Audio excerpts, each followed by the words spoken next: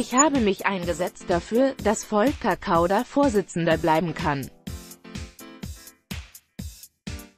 Das ist eine Stunde der Demokratie und da gibt es auch Niederlagen, da gibt es nichts zu beschönigen. Angela Merkel, Bundeskanzlerin, ich freue mich riesig über das Wahlergebnis. Morgen sind wir wieder dabei, an der Sache zu arbeiten. Ich freue mich auf die nächste Zeit.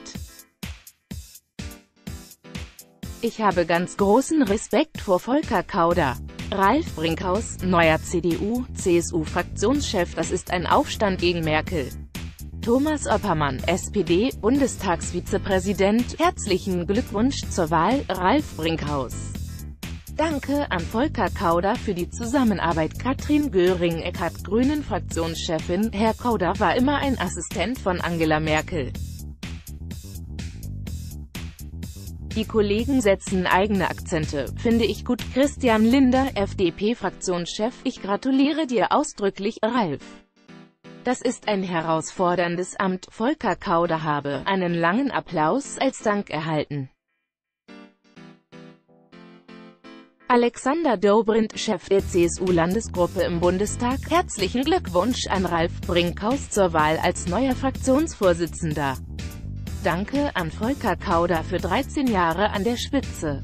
Dorothee Bär, CSU, Staatsministerin für Digitalisierung, dass es so ausging, war dann doch nicht zu erwarten. Es ist die Uraufgabe der Demokratie, mehrere Personen zur Auswahl zu haben. Das hat die Kollegen und Kolleginnen erfreut. Hans Michelbach, CSU, es ist ein Zeichen, wie tief zerstritten die Union insgesamt ist und dass ihr im Kern die Ideen ausgegangen sind, dieses Land weiter zu regieren. Anton Hofreiter, Grünen-Fraktionsvorsitzende, mit dem Durchfallen Volker Kauders zeigt sich der Machtverlust Angela Merkels in der CDU nun deutlich. Die Merkel-Dämmerung hat endgültig eingesetzt. Alice Weidel, AfD, Brinkhaus ist entgegen dem ausdrücklichen Wunsch von Merkel neuer Fraktionschef der Union. Das ist der Anfang vom Ende Merkels. Ihre Autorität ist massiv beschädigt. Nima Movasat, Die Linke